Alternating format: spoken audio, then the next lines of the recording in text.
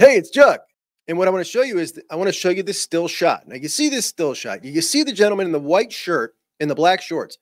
Now, the, the one with his head on the rim there, he has just gone between the legs and then dunked it. Now I'm going to show you full speed. Okay, here he goes. Between the legs, boom! Now, what if I was to tell you that was Devin Sanchez? Unbelievable, man. This kid's unbelievable. I can't even get enough of him.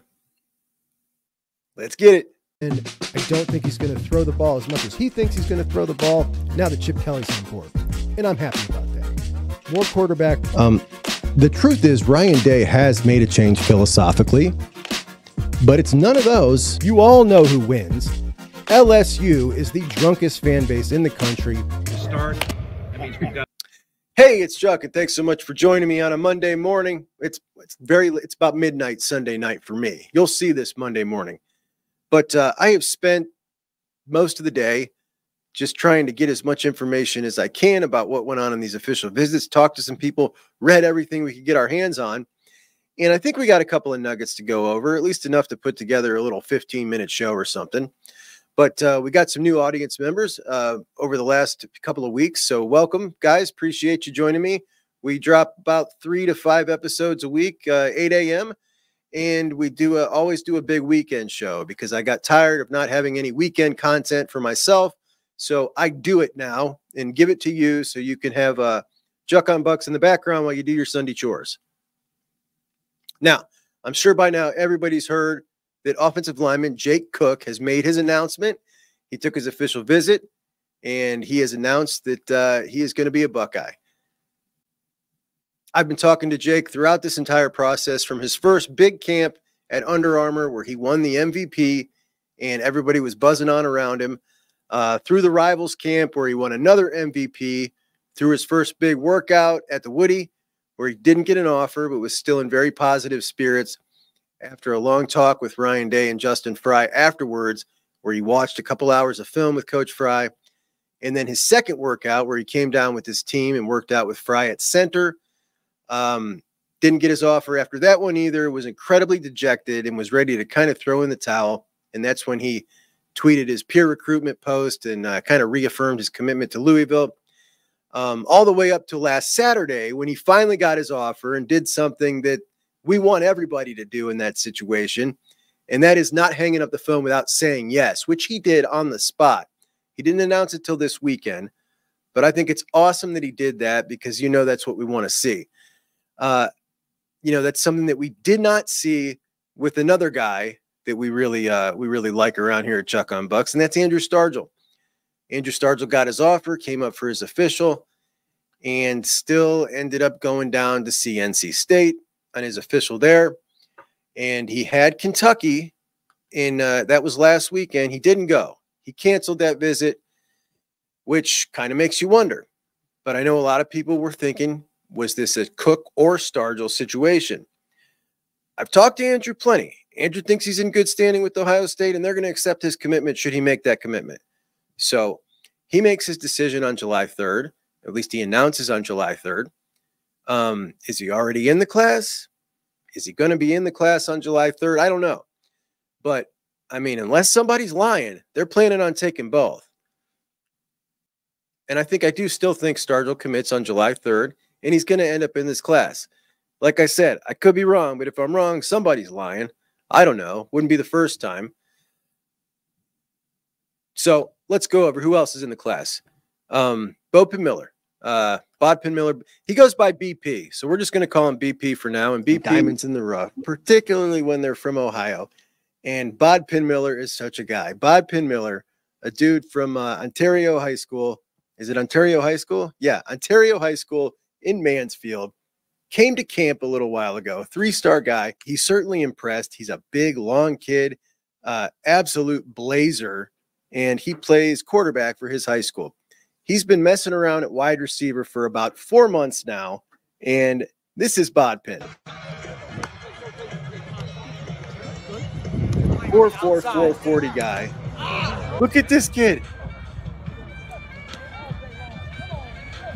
Now, there was a thought, Brian Hartline was so intrigued by him last week at camp that he was going to offer it. Well, Bodpegn came today with his team, and he got that offer. And Bodpegn is going to be a Buckeye.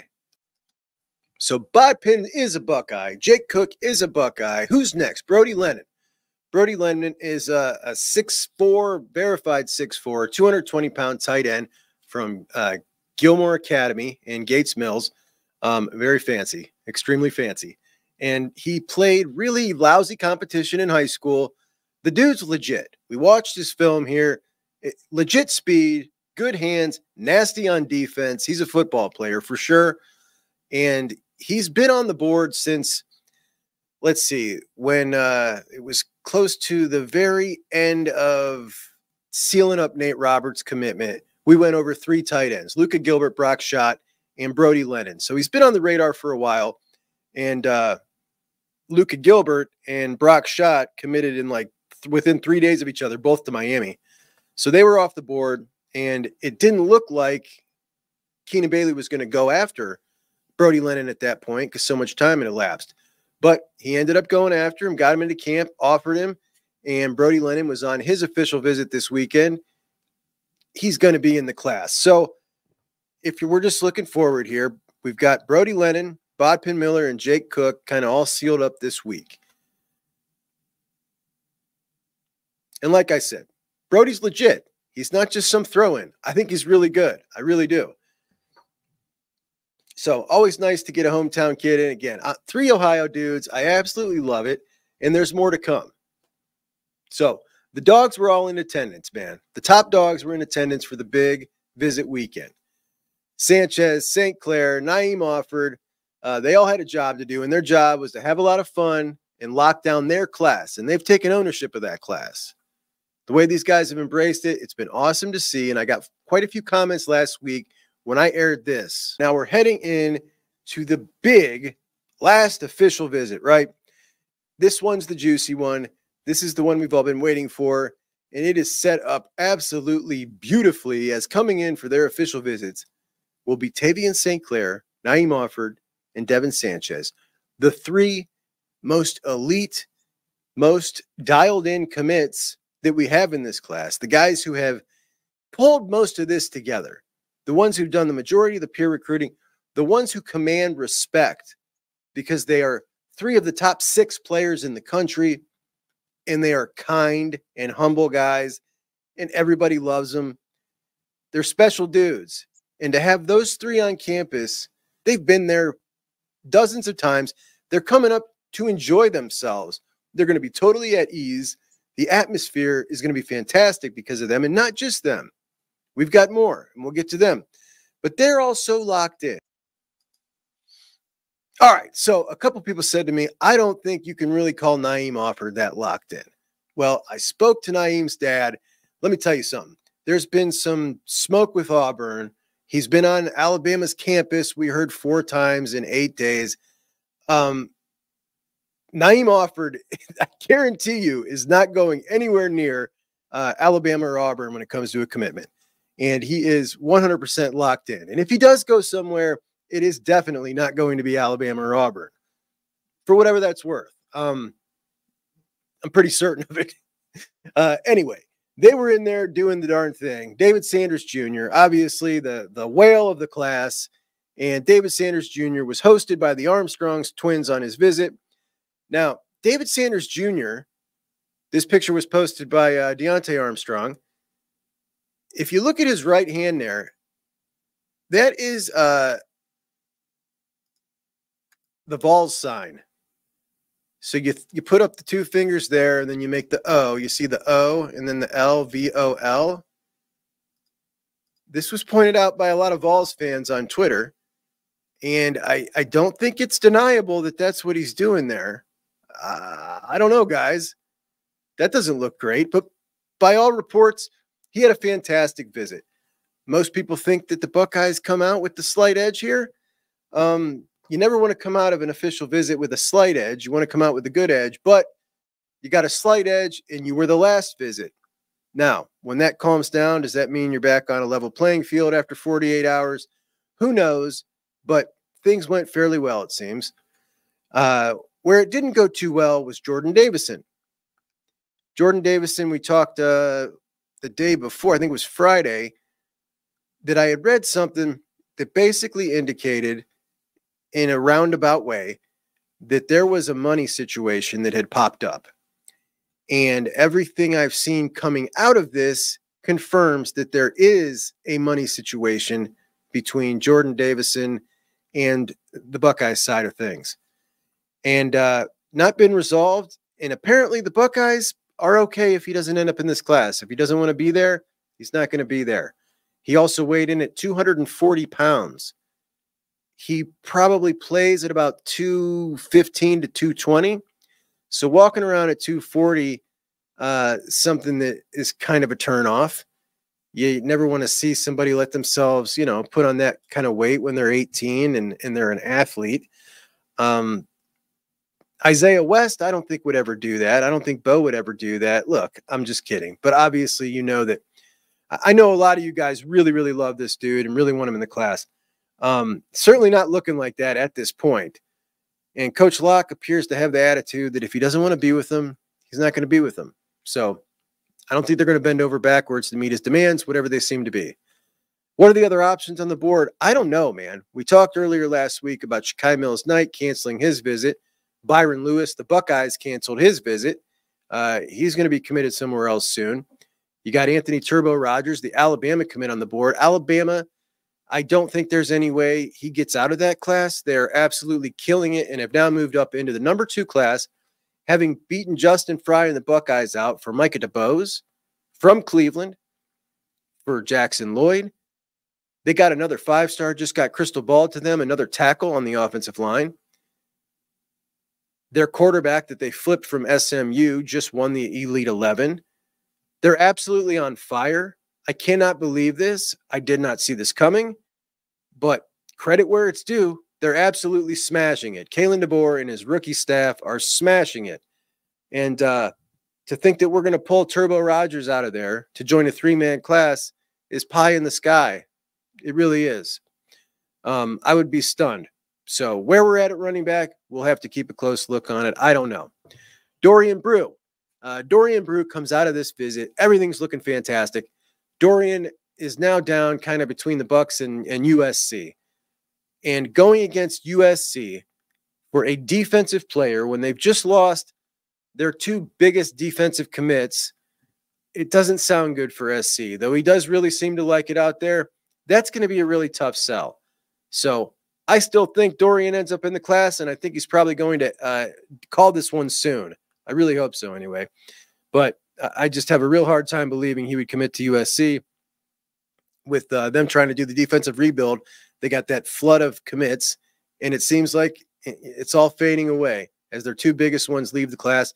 And now Juju Lewis, their quarterback who went and visited Colorado, is now uh, it's after his visit at Colorado, which apparently went very well. Um, I was listening to his show today, and uh, they got USC running a third. Now they had listen the same thing they said about the two defensive guys that, that Justus Terry and Elijah um, that that just flipped out of there. They were saying the same thing that uh, USC was was behind, even though they were committed there. Um, at least with Elijah Griffin for sure. Well, Juju Lewis is uh, a lot of smoke with Auburn, and uh, this Colorado thing is apparently legit. So you know, is this guy going to flip out of US? This would be absolutely hysterical. USC was bragging so much when they got the three of those guys out of Georgia that they were making graphics. I remember one I put on the show. It was uh, it, it was like a grocery store, and the grocery store said Georgia on it, and they were going shopping at the Georgia store, and uh, they're about to lose all three of them, which is utterly hysterical. Um, we cannot let them get Dorian Brew, and I don't think they will. But I think Brew's all ours, so that's great. Um, another fantastic piece of news Ziggy Grady, huge movement in him as we got a crystal ball from Steve Wiltfong for Zion Grady. Uh, he had great things to say about LJ, about his family being engaged during the visit, uh, questions answered, loved hanging out with the guys in the class. Sounded like things were fantastic for the Alabama edge rusher, who the Buckeyes need in the class, man. We need another edge in this class, and we still don't know Zahir Mathis' status. He was on Penn State at Penn State this weekend on an official visit. And again, a guy we haven't heard much from, we don't know much about. Uh, one of the quietest members of this class, which is fine. A lot of times that means that a lot of times that's great, not hearing anything from somebody. Um, but what are they going to do in the middle of the class? Well, Malik Autry would be the ideal guy. How are things going with Malik? It sounded like the visit went good, but Malik is an Auburn commit, and most people think it's going to take a whole lot to get him to flip out of that.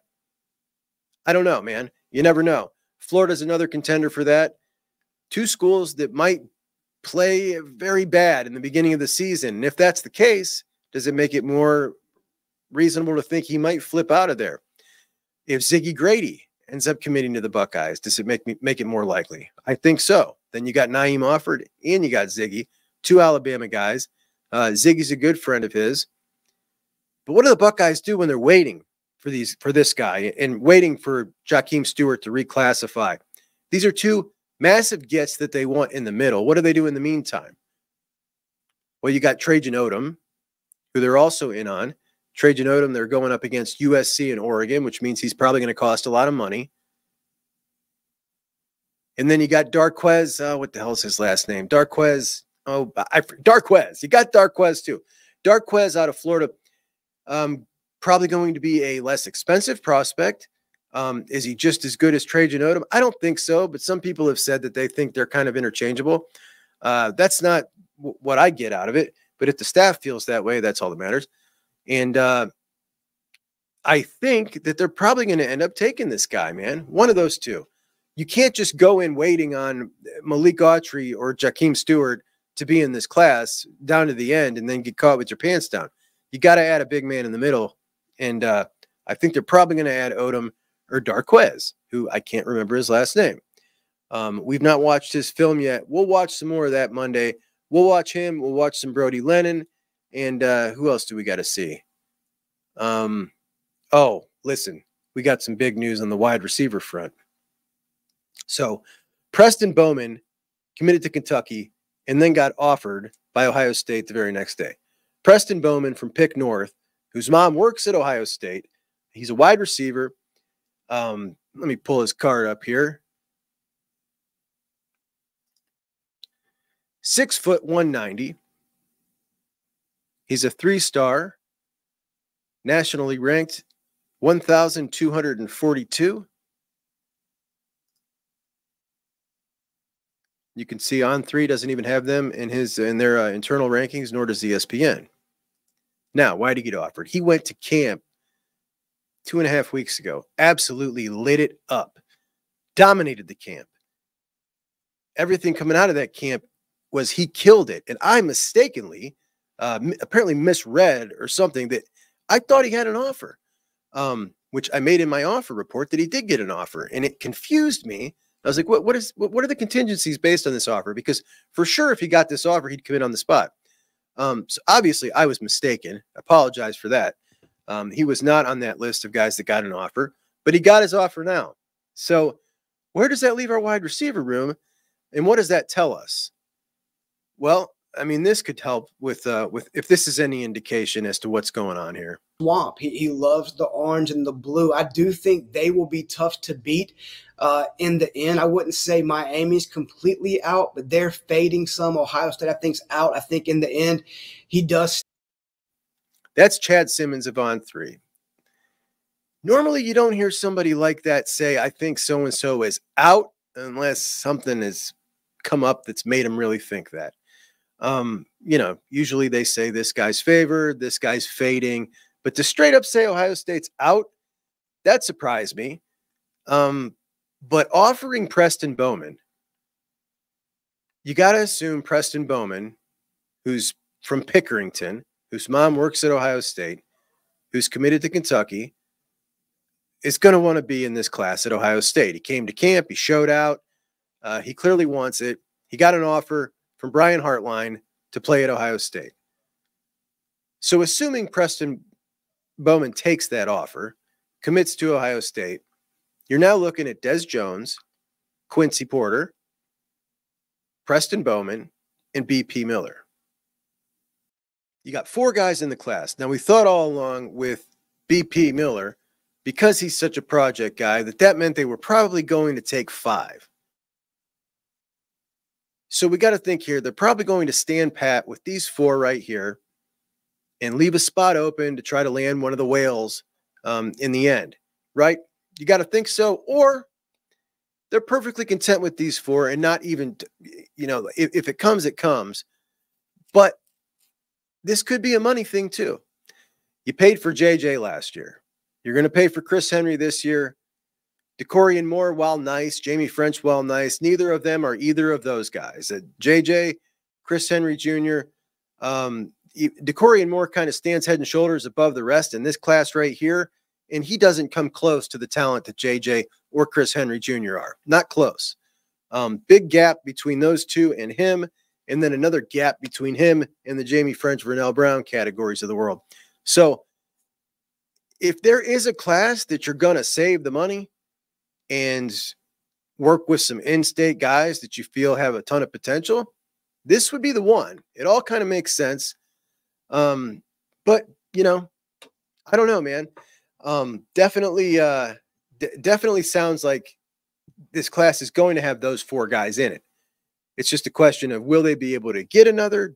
You know, are they going to pay for another, or are they just like, look, we want you, um, but you know, if you want to come, we're not going to be matching Texas uh, for Jaime Ffrench. We're not going to be matching Texas or Oregon for Dakorien Moore.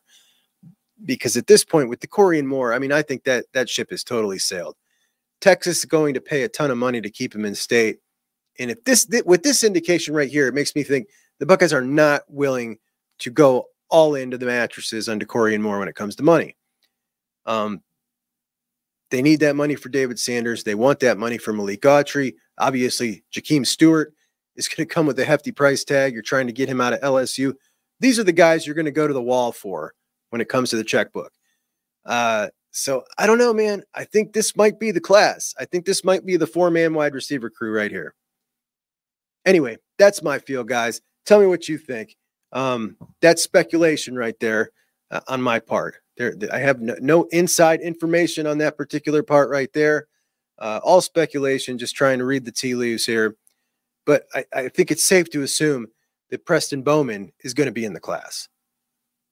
Tyler Atkinson, uh, we talked about him uh, coming in for a surprise visit after we showed his film on Wednesday's show. Tyler Atkinson, fantastic linebacker out of Georgia, one of the best we've seen in years, really. Unbelievable first step, nasty football player. I absolutely love him. You guys did too when I showed the film, got a ton of comments. Um, this is where he's from, Loganville, Georgia. Um, as you can see, going to be a tough one right there. Going to be a tough one for sure. Tyler Atkinson, 6'2, 205, top 10 overall prospect, the number one linebacker in the class of 2026. Absolute stud. Um, Laurinaitis and Coach Walton are in on his recruitment. Coach Walton has known me for a long time and continues to put me on game about ball and life. Uh, Ryan Day also involved. He said Coach Day spent a lot of time with me as well. He showed me a lot about Ohio State and what they have to offer. It was really good getting back up there for another visit at Ohio State. That's his second time up. About Coach Laurinaitis, he said we got a really strong relationship. I got to visit his tree in the Grove and learn some other history about a lot of Buckeye legends. I'll definitely be back there soon. I want to check out a game or two, especially when it's cold. I need to see what the quote it gets cold hype is all about. Um, that's awesome. That's awesome. Th- that's a guy who's really very interested, right? He's already thinking about, all right, how cold are we talking here? Um, I like the sound of that. I like it a lot. And his skill set, it stands alone in 26. Just one of the most dynamic athletes you'll ever see at the position. Total impact football player. Big hurdle to climb for the Bucks with him being so close to uh, Athens, but uh, he certainly sounds to be interested indeed. All right, let's go through a couple of our pictures we got here. Des Jones posted this. I wish I could show you this with the music, but they won't let me. But just get a load of our dude here. I mean, first off, the swag, the confidence, got his Buckeye hat on. The dude is so smooth. He's so quick in and out of bricks. Look at that He is so quick in and out of breaks. His route running is precise. He's got unbelievable hands. He's great after the catch. You want to talk about slept on, man. If this dude was from Miami, might be pushing five star status. Everything about him screams Miami kid, doesn't it? He just looks like one. He acts like one. Look at him. He's totally legit. Totally legit and an excellent find. And another one of these Jersey dudes that we basically didn't have to fight anybody for because they're so slept on. It's unbelievable. Um, ran across this picture here the other day. Jack looks amazing for one, right? But number two, what what is with the homemade workout sled here? Look at this. Th- this looks like they made it in the shed out back. It's made of wood. It's treated lumber. uh, one of the uh, linemen that we offered um, at camp recently posted this, and these are uh, all his uh, offers that he or all the letters of correspondence he got in uh, in one week's time and there was a whole other half to this left side um, that I just noticed the Citronauts, and I thought I would tell uh, tell you who the Citronauts were in case anybody didn't know, because I love that story. So the Citronauts are the Florida Tech Citronauts.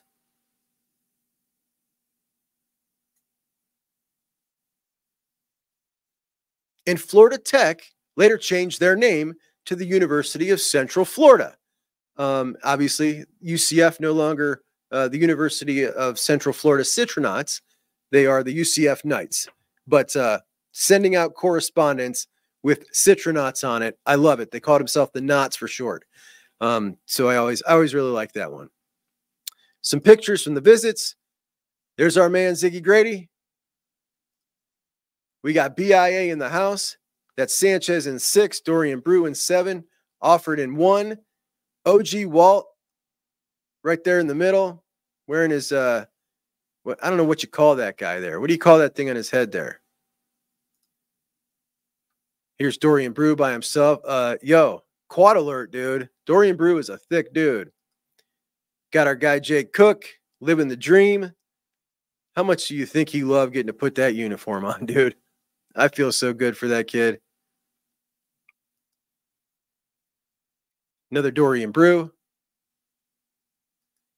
There's the biggin, Malik Autry. Oh yeah, uh, LJ man, it's still cool. He's a cool old dude right there. Tavien St. Clair, birthday boy today. Happy birthday, St. Clair. Uh, pointing at the Heisman, rocking the big hair.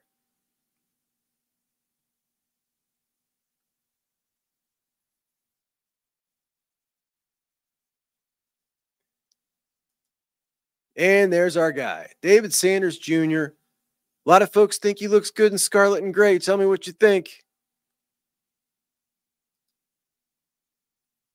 All right, let's get to a couple of comments and roll us on out of here.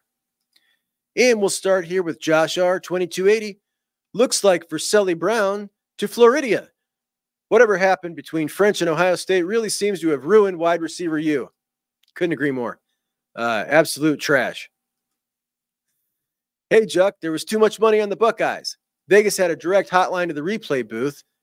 If one doesn't think so, they are naive and ignorant. Interesting perspective. Hadn't even thought of it. Uh, OSU record since 11 19 23, 0 and 2. Michigan record since 11 19 23, 4 and 0. That's factually correct. That really happened. I'm just curious uh, what was it that happened on 11 19 23 that made us start right there uh, in the history of college football? I thought that your history of college football started three years ago. Um, I, I, didn't realize that it was actually 11 19 23. Uh, you learn something new every day. Uh, our buddy Jay, I agree with your take on Day. He's a good guy and a good coach. I was also livid at the end of last season and at the end of the rope with him. And then I blocked out all the noise made some serious changes operationally and to his staff before having one of the best off seasons of all time. I'm excited again and anxiously awaiting the season. Counterpoint, our buddy Lavelle.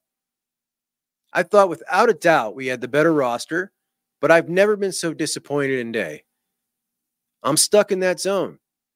I have to see him A plus coach in big games. I still don't think the cheaters have had the better roster the last three seasons. We've lost those games because of Day. Even the Missouri game, Day did not have the team ready. That born on third base comment seems to be ringing true. If we don't do it this year with this roster, not sure exactly what Lavelle means by it. Um, if he means beat Michigan, well, yeah, you know, I I can understand that for sure. Um, if it means win the national championship or just win a big game, you know, the, the thing is, I I just have a hard time with um, and I don't think Lavelle means this, but I have a hard time with some people say if he doesn't win the national championship, okay, they're not even the favorites to win the national championship. To, so to act like that is a little bit like, okay, like I could see if you are like the overwhelming favorite to say you better get it done this year, uh, win that national championship. But if he's talking about big games, you know, I, I can certainly see that. Um, I thought we had the better roster too. And uh, the Missouri game, you know, it is very evident that that he didn't coach to win that game. And uh, I'm with you. I think it's inexcusable. And I won't, you know, it, it's something I'm not going to forget. Uh, absolutely inexcusable to have guys like Cade Stover playing in that game when he was going to the draft and said he couldn't sleep at night if he sat out the game and then not coach to win the game. That very much makes me upset. Um, but I'm with you, totally with you. And finally, I'm going to read this and have to upload it later um, because I did not upload it yet. But let me read this to you. I want to read this to you. This one made me smile. All your comments made me smile. And I do want to say, I have never got more complimentary comments than uh, this Sunday's episode of Juck on Bucks, which was an hour and 41 minutes. I'm glad you guys appreciated it. I worked really hard on it. Um, this is from Steven Richardson. This is the grandfather that texted before. All right. So the other day, I uh, on the Sunday show, I said that I had to take out a whole section and redo it when I was talking about the targeting uh, uh on the Georgia game because uh, I had my mouth uh, was dirty. It gotten away from me. And uh, I said that I had to redo it because there was a grandfather who, who uh, messaged me and said he likes to watch with his granddaughter um, to please not swear. And I felt bad. So this is him, Steven Richardson. This is the grandfather that texted before. So he stayed with me. I appreciate that, Steve. Um, I do appreciate your professionalism and spirit. I listen many times with Laylee, my six year old granddaughter, who is a fan, to every show. Thank you, Steve. Ah, thank you, Steve. That really made my day. Anyway, guys, that'll do me for today. Um, we'll do a longer episode uh, tomorrow, but I just wanted to come on and blurb out uh, my thoughts about uh, you know everything that uh, that I heard was going on from coming out of these visits. Um, again, uh, pretty good news about uh, most of the guys. Um, bad news about Vernell Brown. Bad news about Jordan Davison. Great news for uh, Preston Bowman, and uh, a crystal ball for Ziggy Grady. So we'll see where we go. Thanks, guys. Talk to you soon. Chuck Bucks out.